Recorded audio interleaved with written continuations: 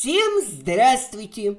Юрий Шулипа в эфире канала «Народная газета». Юрочка, здравствуй тебе большое!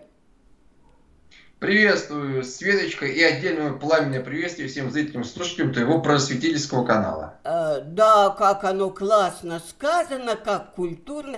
Юр, ну, раз э, просветительского, значит, так просветительского с просвещения и начнем. Вот проект Путин заканчивается, да? И Вячеслав Володин ведь не зря, между прочим, говорит, что есть Путин, есть Россия. Не станет Путина, никто не удержит, я то, тоже думаю, Россию, а где все сильнее центробежные силы, и не будет ее в существующих рамках. И вот у меня к тебе вопрос.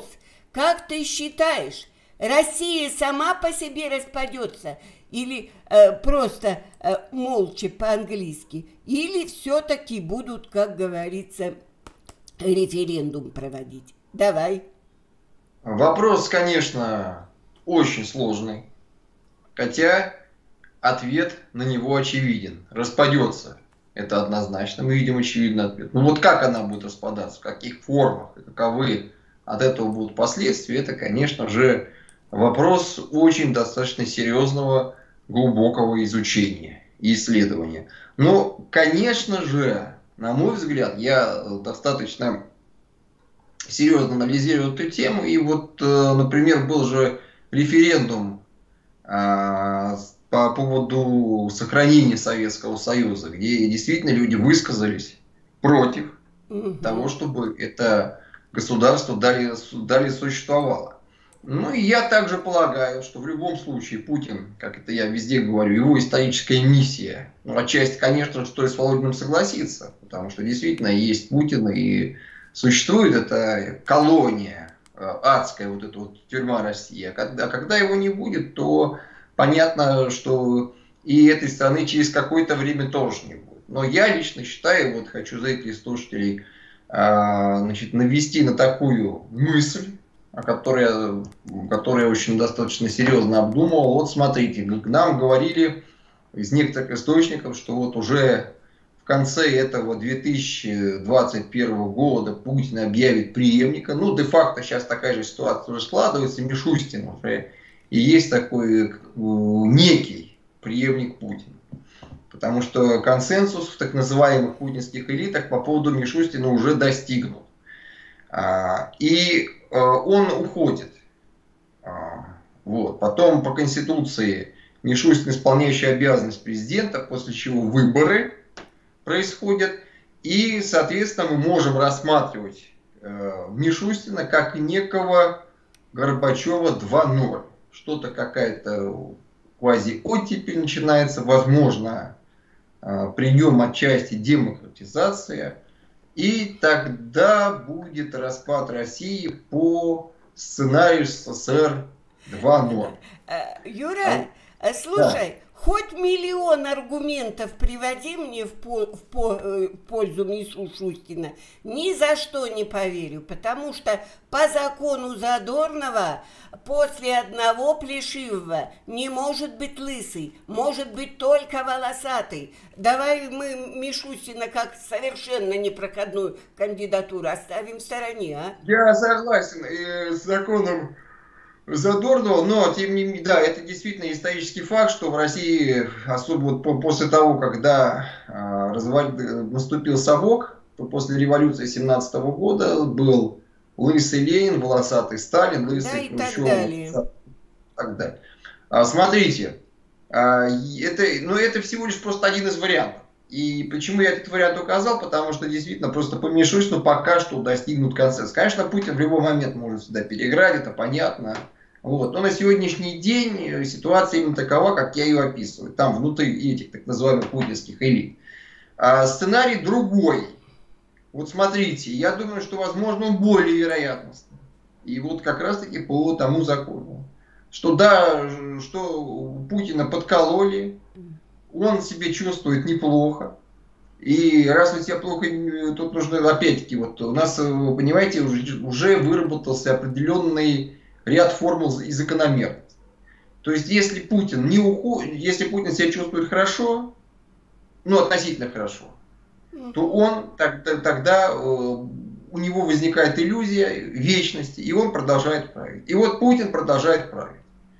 Сколько, сколько он, он будет править при той медицине, которая его обслуживает и состояние здоровья? Ну, максимум до 2024 года.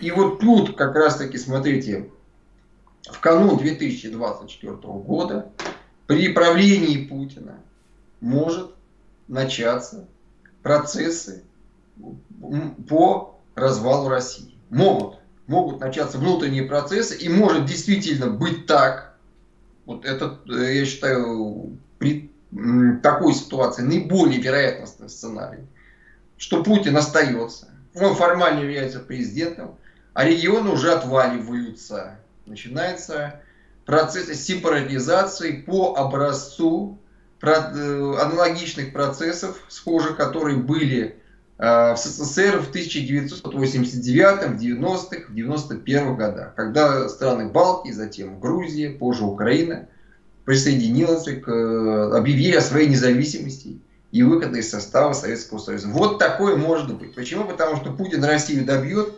финансов и ресурсов у него уже на, на этих всяких силовиков, жировиков и прочих ублюдков, чтобы, чтобы содержать вот эту всю армию карателей, фашистов, палачей, уже не будет. Вот э, этот вариант, кстати, я вот хочу зрителям слушать. Да, но почему? Я вернусь к вопросу главной теме референдума. Подожди, а подожди, все... давай не будем длинными, как говорится, вот, вот этими, да, а, делать. А, так, а, ладно, тут э, Богдан Квитко, харьковчанин, передает пламенный привет из Харькова и скептически говорит, что мафия готовит преемничка, ну-ну. Значит, э, Валентина Манилова э, считает, что все верно волосатый будет, а Хана-москвичка уверена, что Москву надо освободить от властей России. Там нет ни одного москвича, питерские и из других регионов. И вот Юра Медовар, который у меня бывает, да, э, коренной москвич, он тоже говорит, что не осталось практически москвичей, так что хватит все на москвичей ну, валить. А еще э, минуточку. Вячеслава Андреевича П. Я благодарю за поддержку по карточке. Вот давай вот на эту тему, тему и отвечай.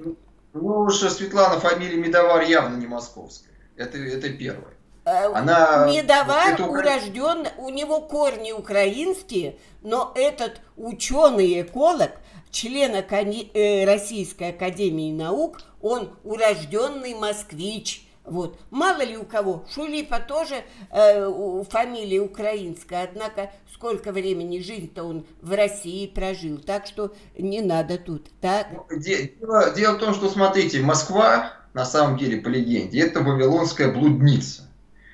Это искусственный город, абсолютно, где завозили людей сначала со всей Российской империи. Ну что такое Москва? Это по построили на болотах э, укрепления. Ну, а слово Кремль, это от, от чего произошло? Ну, это от э, старо-татарского языка, на старо-татарском языке Кремль, крепость, укрепление. Uh-huh. Вот. И искусственно, искусственно этот город заселяли людьми. Со всей бывшей Российской империи, потом Э, большевики продолжили эту политику централизации со всего бывшего Совка. И теперь в Москву едут со всех регионов. Поэтому, естественно, э, Москва это язва. Это гигантская опухоль э, на нашей планете Земля, которая пожирает все живое вокруг себя, пожирает Россию, российские регионы в первую очередь, является колонией для России и внутрироссийских регионов, является колонией для тех территорий, которые Российская Федерация сейчас временно оккупировала. Территории Украины, Грузии, Сирии, Молдовы, в тех странах, где Россия имеет свое влияние. И несет э, стратегическую угрозу всему миру. Поэтому, естественно, такое искусственное государственное образование, как Российская Федерация. У них даже истории своей нет. Их история начинается вот с Ивана Грозного, с истории Москвы. Все. Тогда, когда перед этим ставка Золотой Орды, вот, вот, вот смотрите, начало истории Московии, чтобы вы понимали этой истории, начинается с того момента, когда ставка Золотой Орды переехала в Кремль. Вот отсюда пошла их история Московии. Все. А всю остальную историю там о крещении Руси, истории Киева, Киевской Руси, это московиты украли у украинцев. Это не их история, это история присвоенная. Присвоенная это история украденная у чужого народа. Эту всю историю они, они себе украли. Вот. И поэтому, еще раз повторю, что такая империя зла, мировая империя зла, она не имеет абсолютно никакого права на существование, должна быть ликвидирована и разрушена. А, вот. Вот. Но для того, чтобы закрепить ее разрушение, чтобы оно в том числе было как-то легитимно воле народа, то, конечно, я считаю вот важный вопрос, а, который сейчас нужно обсуждать, уже сейчас. Я предлагаю его внести в информационную повестку. Это вопрос, касаемый референдума, общероссийского референдума о распуске Российской Федерации. Я понимаю прекрасно, что при путинском режиме такого референдума быть не может и не будет. А, надо при этом обязательно учитывать опыт распада Советского Союза.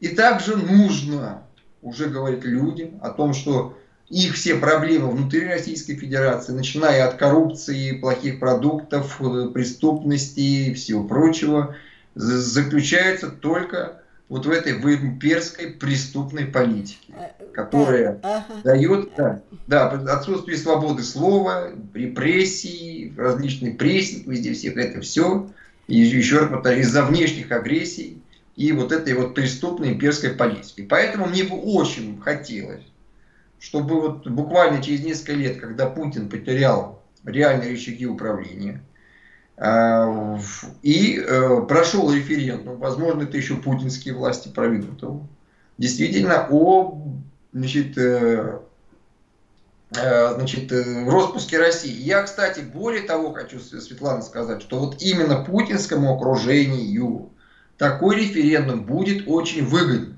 Почему? потому что они разворовали практически всю страну. Их дети, близкие, жены, любовницы, там подруги и все прочие в основном давным-давно живут на Западе. Они являются акционерами крупнейших западных компаний. Запад, российский капитал, в том числе тот, который украден у граждан России, он тоже давным-давно на Западе. И таким образом путинскому окружению надо же будет как-то на воровство списывать деньги. А тут страны нет, страна исчезла, и списывать будет не нужно. Почему? Потому что когда все равно вот где-то к 2024 году мы видим сейчас ну, в России по всем фронтам рубль обваливается. Население э, вот до недавнего времени почти 700 человек в сутки умирали только от одного коронавирусной инфекции. Это не говоря о смерти там, от других заболеваний, от несчастных случаев. То есть представляете, какой-то удар по экономике. Санкции, которые, несмотря на всю их слабость, декоративность и символичность, все равно они действуют. Россия изолирована. И все, повторяю, что если мы оценим общую политику, которую проводит Путин, он все, все ведет к распаду и развалу. К воровству, распаду и развалу. И таким образом путинское окружение, они сами по умолчанию, те, кто доживут, останутся вот в этой системе еще, кстати. Да, еще, еще надо э, пережить путинизм, понимаете? Это тоже не так-то просто. Вот. И они будут сами заинтересованы в том, чтобы эту страну распустить. Юра, Светлана? Юра да. вот э, все-таки э, покороче монологи. Вот знаешь, когда у нас начинается такая тема о том, что транзит власти готовится, преемники будут, народ уже давно все это очень скептически воспринимает, и я с народом абсолютно согласна. Вот Кнопка пишет, медицина зашла далеко по пересадке волос, сделают его волосатым. То есть после Путина будет Путин. А вот. Богдан Квитко, что-то меня терзают смутные сомнения, что Путин кому-то может отдать власть. Пока у него есть деньги для ФСБ, Росгвардии и армии, вряд ли этот режим, э, значит, рухнет. И Таня Иванова, умница, правильно написала. У россиянцев много Путиных в запасе. Так я хочу спросить э, не об этом. Путиных тогда в запасе действительно вагон и тележка. Проект Путин сколько может продолжаться? Как мировое сообщество вот к этому проекту относится? Вот это, мне кажется, реальный вопрос. До 2020, отвечаем на вопросы быстро, без монологов. До 2024 года это максимум. А мировое сообщество, ну, пока этот год ближайший будет его проглатывать и все. Вот у нас как-то получается, э, Юр, ты на Соловья стал похож – честное слово на Валерий, на Валерия. Тот все сладкую, сладкую жизнь, перемены хорошие обещает, но Нет, время не, откладывает. Не, У тебя раньше был 21 год переломный, э, освобождение от путинского режима, а сейчас уже 24 Нет, э, секундочку, дело, послушайте, вопрос заключается в том, что мы не можем, никто из нас, даже лечащий врач Путина, предсказать, когда уйдет путь. Безусловно. Все зависит от его состояния здоровья. Потом э, давайте уже будем, скажем так, действовать э, и понимать ситуацию в рамках определенных формул, которые складываются. И вот зрители и слушатели абсолютно правильно э, подметил, но я хочу его единственное дополнить лишь той части, что если Путин себе начинает более-менее нормально чувствовать, я уже об этом говорил, то тогда забывает о передаче власти всяким преемникам. Путин, еще раз повторяю, он будет держаться у власти до своего самого последнего дыхания. Ну, естественно. Пока возможно э, его ближнее окружение, вот по тому образу и подобию, когда был убит Сталин, вот это у них, кстати, опыт есть. В Кремле убивать своих вождей, и убивать вождей бы своим ближним окружением. Тоже, да. тот, тот, ну, тоже, тоже еще повторю, вариант уничтожения Путина своими, так сказать, в кавычках, потому что там своих нет. Я знаю прекрасно эту ситуацию и многих этих людей, которые сейчас правят в Кремле. Там действительно нет своих, реально. Там все держатся на определенных интересах, связях, доверии, личностных э, каких-то контактах. Все. Вот. Но так, э, э, что я не говорю, еще раз повторю, вот я не пришел сюда говорить, что ой, слушайте, Путин идет, блин, и мы сейчас э, будем жить прекрасно. Ой, надо сейчас какое-то движение перемен делать для того, чтобы как-то внутри России изменить. Я это не, еще я это абсолютно не говорю. Потому что я считаю, смотрите, Россия это очень интересное, парадоксальное государство, где ты только начинаешь улучшать и что-то делать хорошее, как тут же в итоге все становится только хуже. Я вот даже конкретный пример приведу свой. Начиная еще с 2017-2007 года, когда я жил в Москве, судился, а, был случай через Верховный суд, я добился изменения приказа МВД, а, создал выигрышную практику на сайте, отменял сотни постановлений обвинительных э, мировых судей в отношении водителей. И что они сделали? Они просто закрутили законы, ужесточили правоприменение, написали кучу вообще таких инструкций, где потом люди обращаются в Верховный суд, в Конституционный, они эти инструкции отменяют. Они просто вообще зацементировали, забетонировали правовое пространство и разрушили, как это говорят конституционалисты, конституционную материю.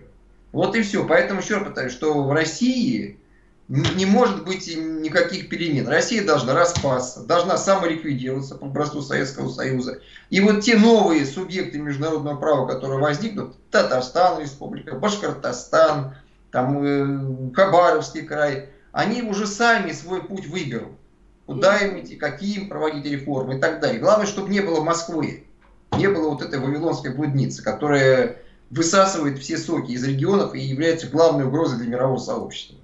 Светлана. Да, да, что, что Светлана, а, что хочу сказать, вот э, читаю, да, а, Последние дни много было разговоров о здоровье Александра Григорьевича. И радости было, как говорится, полные штаны у населения, да, что вот уже ему настолько плохо, а, что дальше и некуда, а потом смотрит Александр Григорьевич, опять живее всех живых. И вот то же самое приходит, да, происходит и с Путиным. Вроде Соловей и же с ними, и ты, кстати, в том же числе, только-только убедят население, что вот-вот чуть-чуть уже осталось, совсем уже скоро хорошо. И вдруг бабах, оказывается, э, надеяться-то не на что. Э, Свет, не в этом дело. Мы все знаем о болезни Путина. Mm-hmm. А его даже уже нескольких болезней знаем. Но еще раз повторяю, что тут э, надо исходить из того, что вся медицина работает на здоровье Путина и Лукашенко. Лукашенко и Путин это вообще уникальная ситуация. Тут один паразит Путин, который паразитирует на Западе, торгуя с Западом, продавая на, на Запад газ, нефть, лес, природные ресурсы, металлы и все прочее. А внутри путинского режима сидит другой паразит. Лукашенко, который уже паразитирует на путинском режиме. И э, как вот нам э, из курса биологии что известно, что если э, умирает главный паразит большой, то тогда после этого через какое-то время очень быстро умирают и те паразиты, которые внутри сидят. Поэтому Лукашенко в данном случае он просто э, такой паразит, который сидит внутри путинского режима. И он умрет, имеется в виду, политически. Только тогда, когда уйдет э, с этой сцены путинский режим. И у Лукашенко уже не будет такого кошелька, чтобы давать по несколько миллиардов долларов на э, поддержание вот этого фашистского кара... карательного, незаконного и нелегитимного политического режима. Светлана? Ну вот Винсент Новый пишет, Светлана, пригласите Арестовича. Сколько слушаю, никого честнее и адекватнее не видела а, в Украине. А, значит, не приходилось, честно скажу, фамилию Арестовича знаю, слушать мне его не приходилось. А, Юра, ты, может, оценку какую дашь? Значит, э, я хочу сказать так, что раньше Алексей Арестович э, говорил правильные вещи. Иногда он говорит тоже правильные вещи. Но в последнее время Арестович участвует в спецоперации по дезинформации граждан Украины и мирового сообщества. Что э, означает его недавнее интервью, зрители и слушатели об этом могут посмотреть, когда Арестович сказал, что ну если Запад нам не поможет, мы развернемся и уйдем в Китай. Ну что это такое? Это просто, это глупость. Это глупость. Вот смотрите, я говорю, Света, уже второй год здесь, на твоем канале, о том, что Украина является частью западной цивилизации. Это такая же европейская страна, как и все страны Европейского Союза. Украина будет и в НАТО, и в Европейском Союзе. И нам надо сейчас думать о нашем значит, геополитическом буфере между китайской цивилизацией и западной цивилизации. Это то, что будет после распада России. Потому что Россия еще распадется на три цивилизации. Китайская цивилизация уже Путин определил и распад путем э, подписания договоров, в том числе и секретных, в конце осени э, 2021 года, уже в этом году. На 51 год он сдает э, территории там по площади фактически 6 Украин. А потом э, исламская цивилизация, это э, с юга, значит, э, нынешней пока что России. Ну вот, и западная цивилизация со стороны Запада. И нам надо думать, еще раз повторяю, о неком геополитическом значит, этим самым буфере. Это нам нужен буфер, еще раз повторяю, от Китая. Потому что китайская цивилизация для Украины это не враг. А, а, а пока что, ну, пока еще не враг, да, но это а, стратегическая опасность. Стратегическая опасность. Потому что а, Китай, Соединенные Штаты Америки Европейский Союз – уже де-факто объявили врагом. А, потому это серьезный оппонент и конкурент в экономической сфере, там, в сфере высоких технологий и так далее. И это, эти факторы надо учитывать. Кроме того, обратите внимание на Конституцию Украины. В Конституции Украины на конституционном уровне, а, в общей части Восточного конституционного строя закреплен курс на вступление Украины в НАТО и в Европейский Союз. И каким образом, то есть получается, что заявление Арестовича, оно абсолютно безответственное, э, дезинформационное и к тому же антиконституционное. И то есть, и, то есть иными, да, а почему? Вот давайте теперь рассмотрим мотивы, почему Арестович, Алексей Арестович сделал такое заявление. Он сделал такое заявление. Это зрители и слушатели об этом мало знают. А до этого, кстати, говорил э, представитель московских сислибов Верховной Рады, так называемый вот этот самый Давид Арахами, депутат Верховной Рады, о том, что ну, нам надо брать опыт у Китая, чтобы вот марксовский народ типа, брал там у коммунистической партии Китая. Почему он так говорил?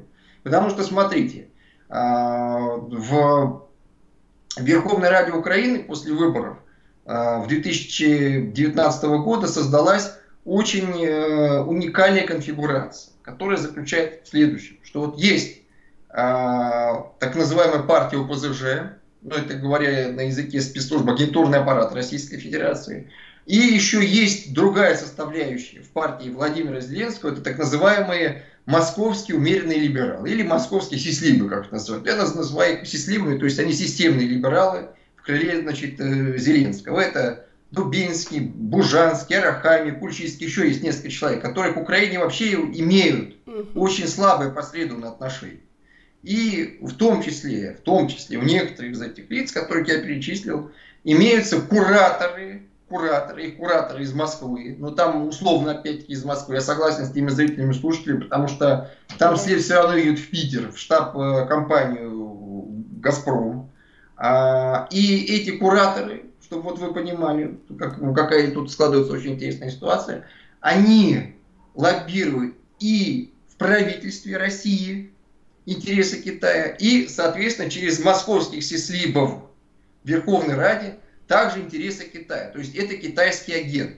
Понимаете, в чем вопрос? То есть вот те же самые э, лоббисты из э, Минэкономразвития России есть там, в том числе, значит, среди них это значит, э, Новок есть, есть такой, вот он тоже является одним, одним из лоббистов Китая. Это фактически все китайские агенты. Они лоббируют Китай, а Китай, смотрите, Китай не смотрит, вот опять-таки с точки зрения Китая, а где ему? Он, э, Китай, считает, понятно, что Россия оккупировала, точнее Советский Союз, часть его суверенных территорий.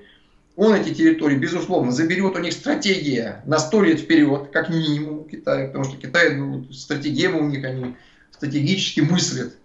Вот. А по экономике, как, какая разница, они этих агентов что вот в «Газпроме» в российских министерствах используют э, свое влияние и в России, и в Украине, в том числе в странах Европейского Союза. Поэтому получилось, вот это я просто вам объяснил, откуда, ага. да, откуда растут ноги у этой дезинформации, у этой, у этой спецоперации э, Арестович по дезинформации населения Украины и России.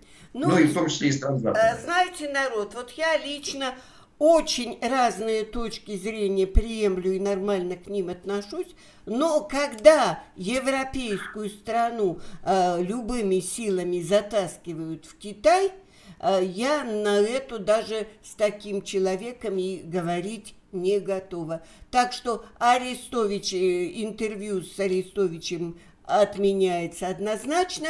Да, а... и, да, и, да, да, и, и послушайте, более того, хочу сказать, смотрите, Арестович является, ну, скажем так, он э, после Михаила Подоляка есть первый спикер офиса президента, Михаил Подоляк, так называемый коммуникатор, Арестович на втором месте коммуникатор. Они все зависимы от одного человека, мы его знаем, кто самый главный в офисе президента фактический президент. Есть президент у нас э, номинальный, который сказал, что в Украине каждый президент. Это Владимир Александрович Зеленский. Есть другой человек, который сразу же воспользовался его формулой и стал фактическим президентом. Это глава офиса Андрей Борисович Ермак. Я напомню, это человек, от которого были проведены три вербовочных подхода ФСБ, и он получил, э, был значит, завербован в Федеральной службе безопасности, перед тем, как его допустили к э, переговорам с Руковым и все прочее, получил оперативный псевдоним Козырь. Понятно. Вот, Юр, ответь на, такие, на такую полемику, твою точку зрения. Светлана Скрытникова пишет, пока люди не начнут громить все вокруг, ничего не изменится. А, но ей отвечает, ах, она отвечает, они уже громили, и новый мир построили на сколоках. И что? И весь мир ужаснулся. Вот если сейчас э, сценарий э, столетней давности – повторится. Будет ли это хорошо, Юр? Сценарий столетней давности повторится, возможно, в режиме лайт. Почему? Потому что, во-первых, сейчас нету в России такое население. Обратите внимание, Российская империя и современная Российская Федерация. Вот в Российской империи население было практически в 8 раз больше, чем в современной Российской Федерации. Какая была тогда демография и сейчас? Ну, сейчас, во-первых, э, громить некого и, не, не, нечего.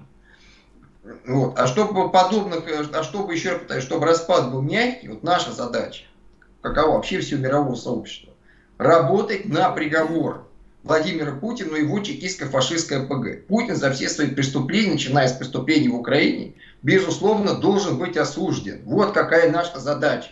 Для чего? Потому, потому что, смотрите, приговор Путина, э, он внесет важнейший вклад в обеспечение э, международной безопасности. Не повторяется и аннексии. Потому что, вот обратите внимание, я буду говорить тезисно. Там, где свершилось международное уголовное правосудие, посмотрите, войн нет, уже не стреляют. Примеры. При, трибунал над э, Японией, трибунал над э, гитлеровской Германией, трибунал над бывшей Югославией, трибунал над э, Ираком и Саддамом Хусейном, трибуналы над э, африканскими диктаторами в, африканских странах. Вот наша задача какая сейчас, работать, осудить это зло.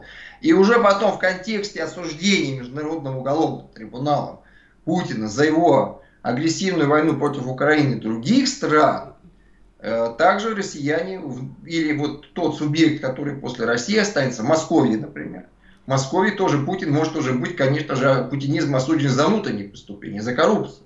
Потому что вот, вот Международный уголовный э, трибунал, Международный уголовный суд имеется в виду, он будет судить Путина только за международные военные преступления против человечности и так далее. Там очень э, узкий э, набор преступлений, за которые этот суд судит. А вот за внутренние преступления уже то, что Путин творил внутри России, в том числе касаемые и связанные с узурпацией власти, его должен уже судить там, значит, тот суд внутренний на территории России. Важен этот приговор, еще раз повторяю, есть этот приговор, потом через какое-то время по принципу э, денацификации, которая была э, проведена несколько лет в Германии, после поражения Германии во Второй мировой войне, должна, безусловно, состояться депутинизация. Угу. Вот. И э, надо уже всем, еще раз повторяю, думать сейчас о том, как строить свои независимые самостоятельные государства, какая будет экономика, еще раз повторяю, после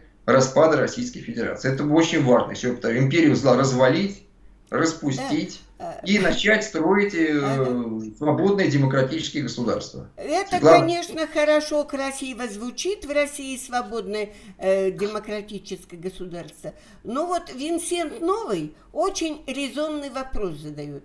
Ребята украинцы, а кто у вас кого не продаст? Вы же знаете, что это традиционная национальная забава. Даже искать не пытайтесь непродажных по коррупции. Москва Киеву всегда уступала. Всегда. Комментирую, Ну, во-первых, нужно исходить из того, что э, фактическая независимость Украины, э, точнее, фа- э, Украина стала приобретать фактическую независимость не с... Э, 24 августа 1991 года, после распада Совка, как это э, здесь отмечается официально, День независимости Украины, а именно с 20 февраля 2014 года, после победы Евромайдана, начала Путиным Четвертой мировой гибридной войны.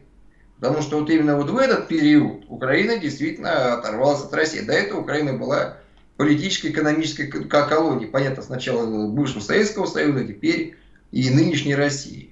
И, естественно, каких-то 7 лет фактической независимости, но еще раз повторю, полунезависимости. Почему? Потому что у нас действительно в Украине, об этом везде говорю, огромный агентурно-подрывной потенциал Российской Федерации. Агентура везде, среди высшего политического руководства, и вот не так давно, значит, среди СБУ, ну, бывший значит, сотрудник СБУ, который был выгнан со службы в 2014 году, организовал э, крупную агентурную сеть Российской Федерации среди сотрудников правоохранительных органов Украины, службы безопасности. Вот. И таких э, агентурных сетей, я так предполагаю, ну, до, достаточно большое количество. Поэтому еще повторю, что сейчас Украина находится в состоянии национальной освободительной борьбы, потому что Евромайдан я рассматриваю как именно национальная освободительная борьба. А, с одной стороны, и э, с другой протекает э, самостоятельный процесс под названием революция достоинства. То есть люди э, стремятся действительно, вот борясь значит, с российской агрессией, с, с этой агентурой, с, с э, гибридной войной, потому что здесь война в основном идет, конечно, даже не военными средствами и способами, а вот различными агентурными, так как я уже с этим слушателям рассказывал, что э, из общей подрывной деятельности Российской Федерации она благодаря ее самостоятельной части агентурно-подрывной деятельности достигает 80% из 100. То есть из общей подрывной деятельности. То есть остальные 20% это берем пропаганда, там э, использование потенциалов международных организаций против Украины и других стран, а вот 80% это за счет работы агентуры здесь внутри Украины. Поэтому еще, еще раз повторю, что подобного рода, да, может казаться, действительно, остается впечатление, что здесь, ну, и, как говорится, действительно, тут и продажных много людей. Почему? Потому что у них отсутствует э, политическая культура. Вот, еще повторю. Но вопрос, вот смотрите, почему я говорю, а вот именно сейчас нужно размышлять, как, какие государства, а, как строить независимое государство внутри России после ее распада. Это очень важно. Почему? Потому что, по крайней мере, хоть мы у людей которые проживают на территории Российской Федерации, с, э, формируем образ будущего.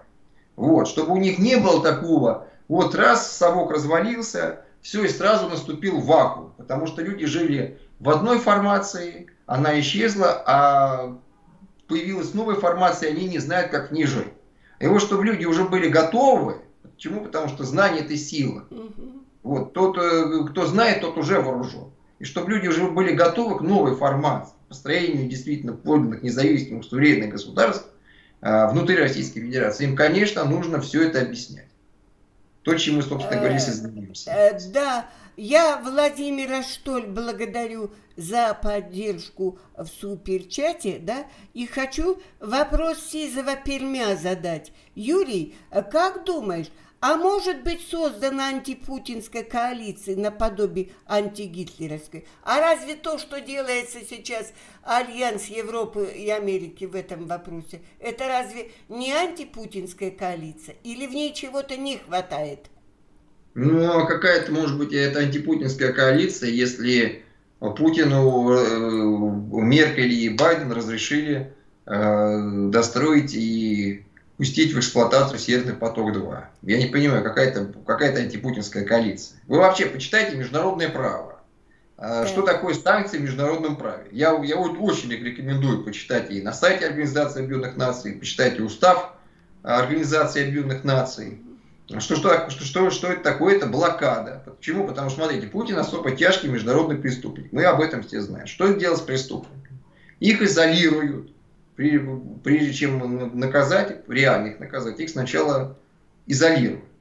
Так вот, э, как, каковы должны быть санкции? Санкции самые эффективные, как показывает, показала практика Совета без наложения санкций Совета Безопасности ООН, это блокада.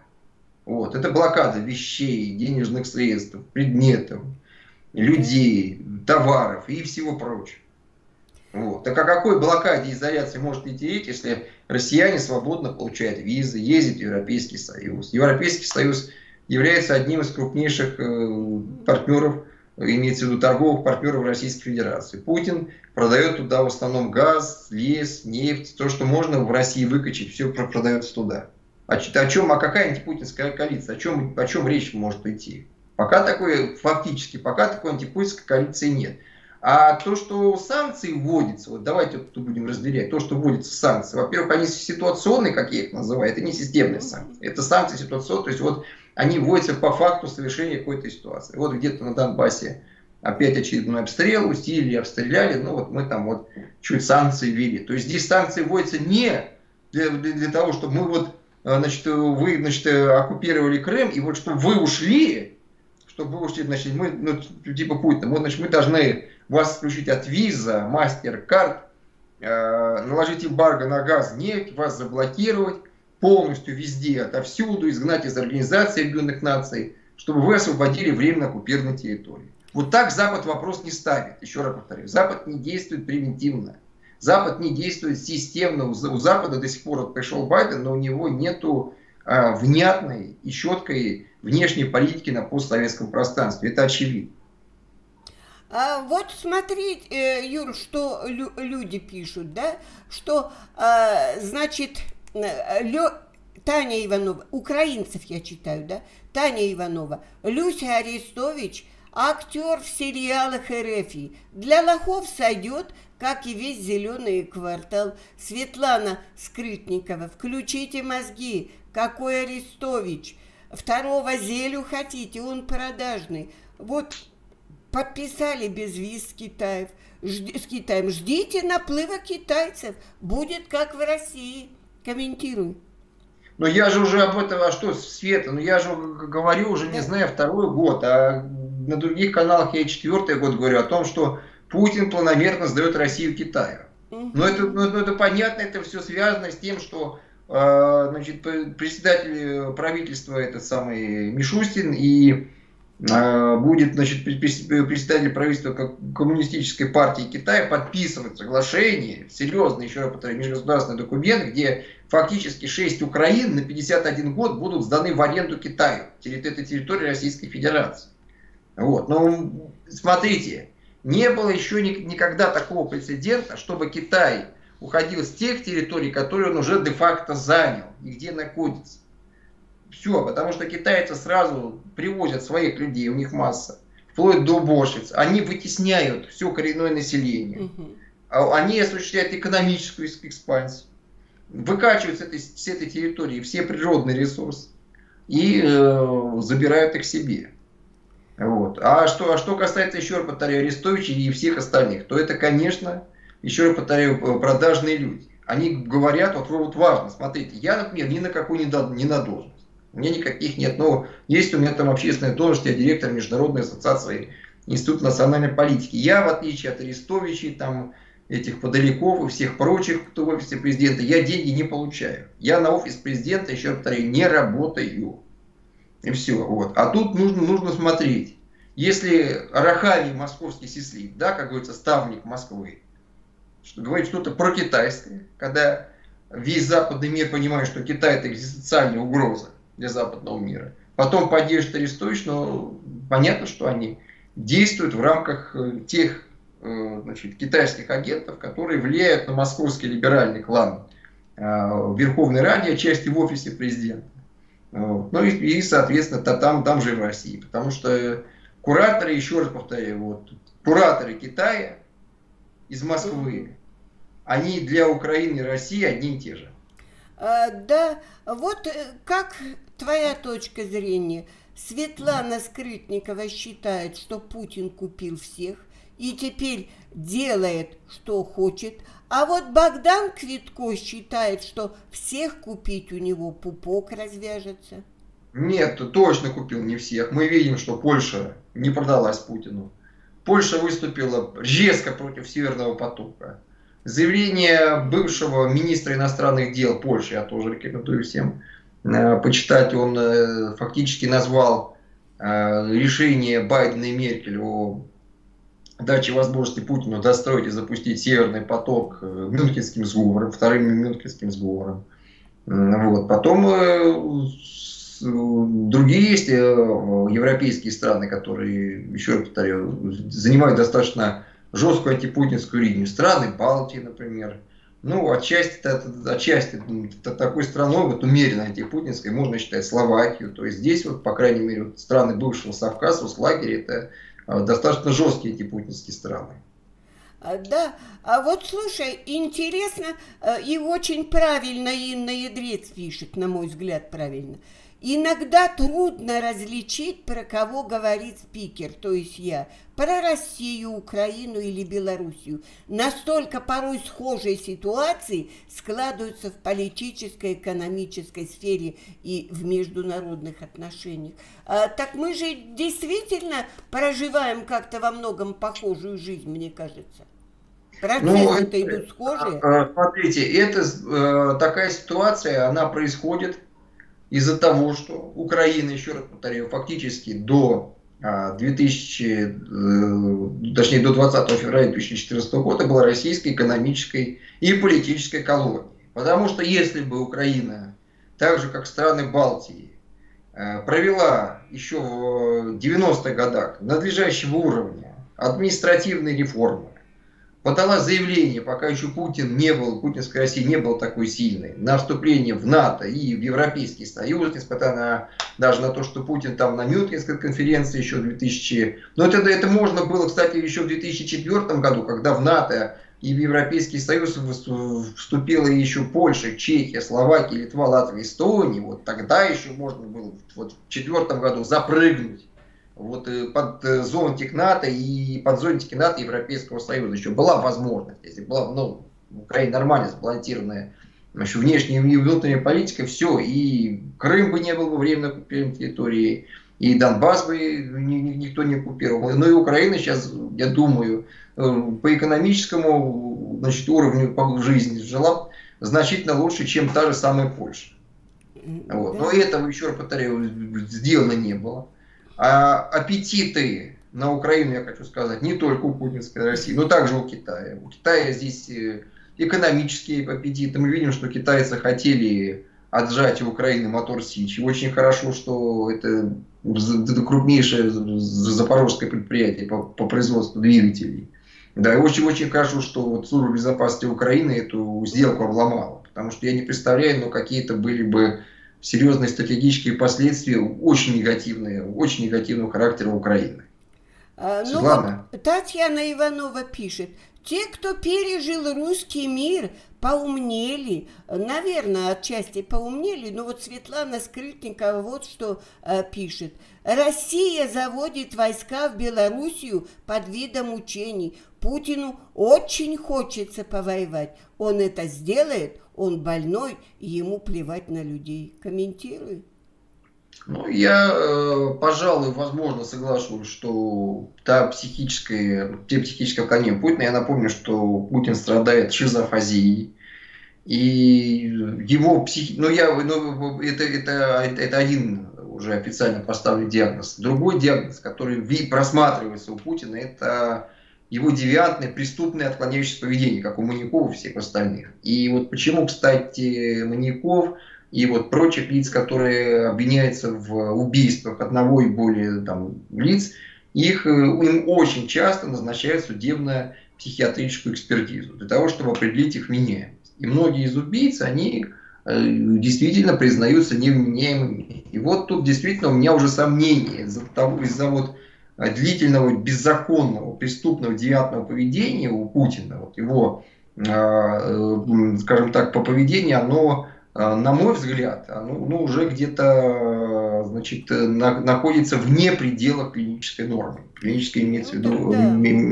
медицинской нормы. Поэтому в этом смысле, конечно, он во многом псих и сумасшедший. Вот. Это сто процентов.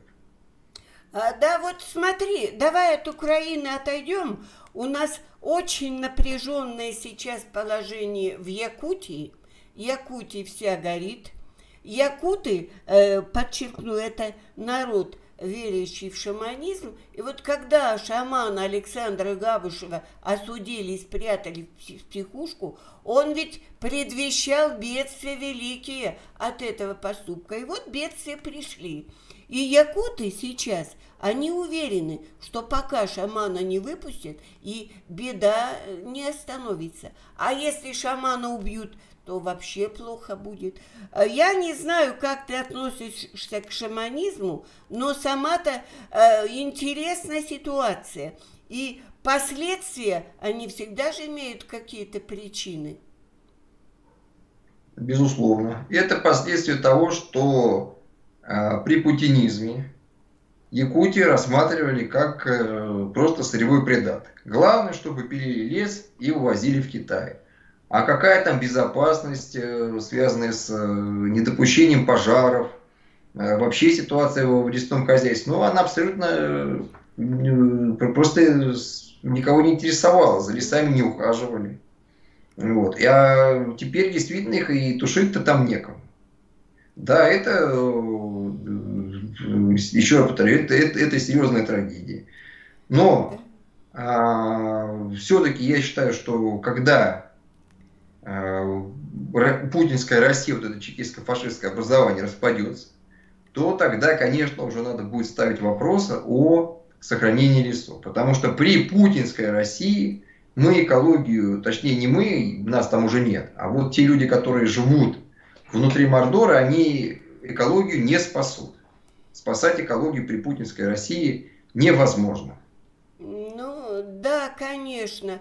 А, ну вот, э, давай вот еще вот такую тему. Россия, вот она уже э, никуда от этого не денешься, она готова к распаду, а Средняя Азия становится пороховой бочкой, потому что сила талибов растет. Страшная ситуация. И вот спрогнозируй, что в этом котле, в этой буче будет происходить.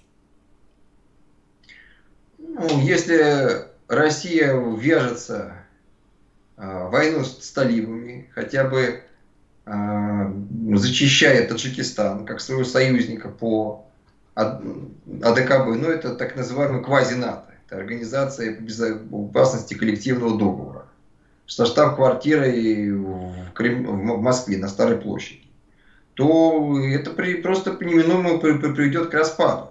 Вот. И я считаю, что американцы абсолютно правильно сделали, что из Афганистана вывели страны НАТО. Почему? Потому что сначала Путин, а, когда бомбил безнаказанно и убил а, десятки тысяч э, мирных сирийских граждан, он создал миграционную волну в страны Европейского Союза, после чего совсем недавно подключился к этому действию Лукашенко.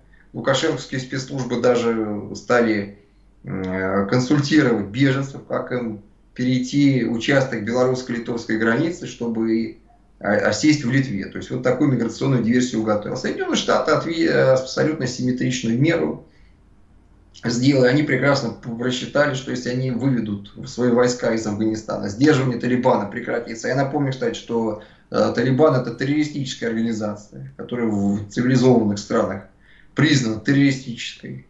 А путинские халуи, вот это, значит, Лавров и все прочие, они встречаются с международными террористами, убийцами.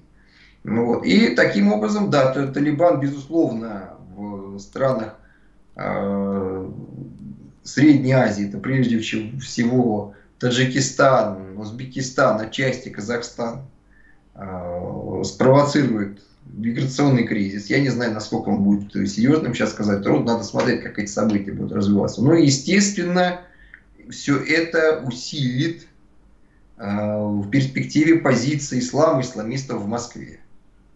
Потому что они будут, э, потому что границы с востока, они во многом прозрачны России.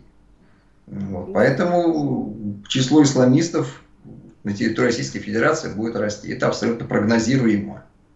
То есть, так, то есть таким образом, э, в принципе, можно сделать вывод о том, что безопасность России, то, о которой там печется Путин и Патрушев и так далее, вот, с помощью исламистов, она может быть в ближайшем времени подорвана. А вот смотри, да, а вот Шойгу заявил, что НАТО рассматривает Россию как главную угрозу, ну кто бы в этом сомневался, кто еще может быть главной угрозой, да? И вот э, у нас Россия в последнее время стала демонстрировать э, какое-то реально реальное вооружение, которое раньше только в мультиках показывали.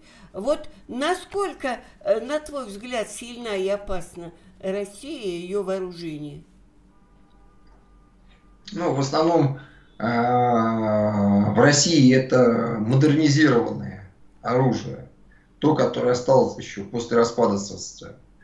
Ну, во-вторых, я считаю, что того а, потенциала а, именно вот стратегических вооружений, которых а, постоянно там декларируется, его нет в наличии. Можно даже обратить внимание на космодроме Плесец, когда э, пропаганда российская говорила, что там пускаются ракеты, которые летят в акваторию Тихого океана, и там они взрываются. Так вот, вместо ракет там вылетали муляжи. То ну есть, да, ну, это то, было. Да, да то, то, есть, то есть э, по, по ним видно, точнее видно по раскраске, ну не специалист это не поймет, а вот для специалиста это выйдет, что там, что по, по, по, по раскраске это экспериментальное вылетало просто, вот, ну, скажем так, учебная ракета. Вот. А, и тут важно, тут важно, еще раз повторю, что э, не путинскую саму, значит, армию бояться, а сделать все возможное именно сейчас. Это давно надо было еще сделать. Вот с момента того, когда Путин, э, ну там хотя Медведев, но Путин напал на Грузию, а до этого, кстати, и Чеченскую республику Ичкерия, когда была оккупирована Российской Федерацией, вот тогда нужно было начинать применять к путинской России максимально жесткие санкции. Почему? Потому что я всем зрителям и слушателям всегда говорю, что на постсоветском пространстве самая главная проблема – это тотальная безнаказанность властей и власти имущих. Просто тотальная безнаказанность. Это главная проблема. Вот если бы то зло путинское еще было бы наказано а, в нулевых годах за вторую чеченскую войну, угу. вот, тогда бы не было Грузии. и, соответственно, Украины.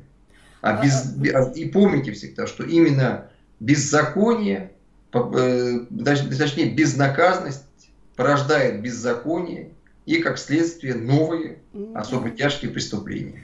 А, ну вот э, тут, знаешь, а, пишет у меня Светлана Скрытникова, зайдите к Мальцеву, он хорошо показывает, какая сейчас армии РФ. Но Кнопка ей возражает, что даже старые бомбы времен Второй мировой войны взрываются по-настоящему. Ну, согласно, взрываются по-настоящему. Только достаточно ли их силы для решения той проблемы, которую Путин хотит, желает решить? Но для конвенциальной войны с Западом абсолютно недостаточно. И Путин с Патрушевым, кстати, признают и почему, например, у них э, появилась доктрина ответно встречного ядерного удара. То есть Путин и Патрушев э, фактически говорят Западу следующее. Да, мы признаем, что вы сильнее нас. У вас больше ресурсов, армии, возможностей, вооружений. Вы значит, своими системами противовоздушной обороны наши ракеты перехватите и так далее. Вот. Но мы сумасшедшие и у нас есть воля, мы вас не боимся, и мы можем начать ядерную войну первым. И вот мы начнем ядерную войну, а вы нас испугаете. То есть Путин ядерный шантаж, вот обратите внимание, от, э, еще в 2000, в прошлом 2020 году появился документ, это называется э, доктрина ядерного сдерживания, который подписал Путин. До этого он, этот документ имел гриф совершенно секретный. Но в 2020 году, кстати, накануне его э, намерения вторгнуться, осуществить широкомасштабное военное вторжение на свободной территории Украины 17 сентября 2020 года, и об этом я тоже говорил, да, никакие, обратите внимание, зрители слушают, никакие Валерий Соловьи и другие, никто же не упоминает дату, что 17 сентября, э, что Путин планирует напасть на Украину 17 сентября, об этом никто не говорит, об этом говорю только я. Почему? Потому что я прекрасно знаю Путина. Я знаю, скажем так, я, я, я во многом разбираюсь в его мыслях. В его мыслях я знаю, что он именно так думает. Что он живет вот в системе. У него парадигма э, символов и смыслов. И он в ней пребывает. Это его мир. Просто понимаете, еще раз, чтобы понять Путина, как он думает, вы должны в его мир войти. И а отсюда у вас будет тогда соответствующее видение, понимание его намерений. А, вот, да, я, да, я, об этом, я об этом говорил. И поэтому вот перед 17 сентября-то и был, это важный разведпризнак, опубликовано э, в открытом доступе то, что раньше публиковалось э, серьезно. Э, точнее, под грифом совершенно секретно. Это доктрина значит, ответ, ответно-встречного ядерного удара. Светлана? А, ну вот у нас эфир с тобой подходит к концу. А, Ой, да? А, да, и вот Ларочка Солнышко утверждает, Чубайс сказал, пока не продадим все из России, не уедем. К этому все и идет. Комментируй. Ну, слушайте, ну, Чубайс абсолютно продажный человек. Это путинский агент. Путин поставил его специально на должность там, э, представителя там, России по международным связям для того, чтобы он мог налаживать как-то отношения с Западом. Вот. Но у Чубайса, понятно, еще раз повторю, ничего не получится. Никакие отношения он не наладит. И такие люди, как Чубайс, вот поверьте мне, когда уже не будет Путина, или Путин будет, но они все вместе поймут, что отвечать-то за свои преступления надо, вот уже, так сказать, да.